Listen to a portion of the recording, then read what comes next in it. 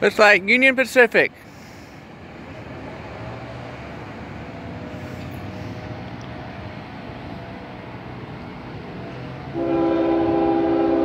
And it is Union Pacific.